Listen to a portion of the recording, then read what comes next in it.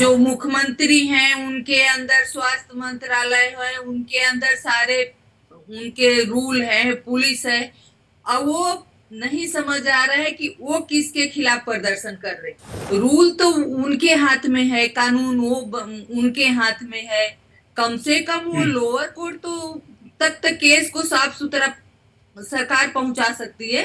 चिंताजनक है कि जो भी वहाँ डॉक्टर्स आवाज़ उठा रहे हैं उस बच्ची के लिए, अपने सेफ्टी के लिए, उनको दबाया जा रहा है। उनको डराने के लिए हॉस्पिटल के अंदर एक भीड़ आती है, तोड़ फोड़ करती है, मारपीट करती है, उनको धमकी देती है नर्सों को कि हम उसी डॉक्टर की तरह हालात कर सरकारें एक दूसरे पे थोप रही हैं, प्रदर्शन कर रही हैं।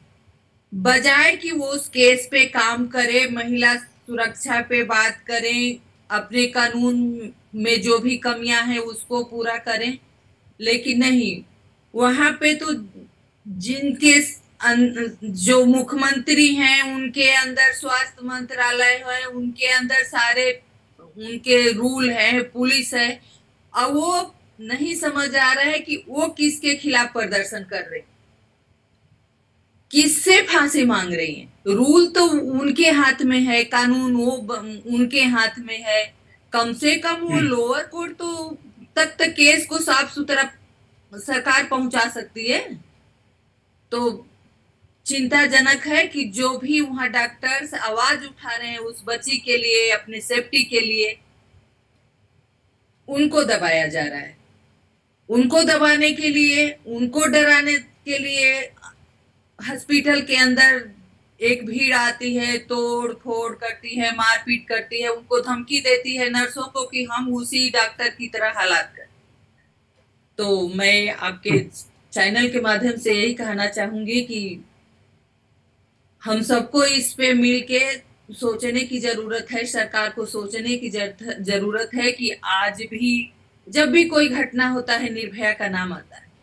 लेकिन निर्भया की घटना से, उसके मौत से हमने क्या सीखा? है हमारे सिस्टम ने, में क्या बदलाव आया? हमारे कानून में जो भी बदलाव उस पे काम का क्या हुआ? आज भी हम 2012 में ही खड़े तो हम यही चाहते हैं कि जो भी हमारे देश के डॉक्टर्स बाहर रोड पे हैं, उनको इंसाफ मिले, उस बच्ची को इंसाफ मिले, उस माँ बाप को इंसाफ मिले, क्योंकि ये घिनौना जो अपराध हुआ है जो उनके माँ बाप के बयान आ रहे हैं टीवी पे देख रहे हैं कि पोस्टमार्टम रिपोर्ट कुछ और कह रही है।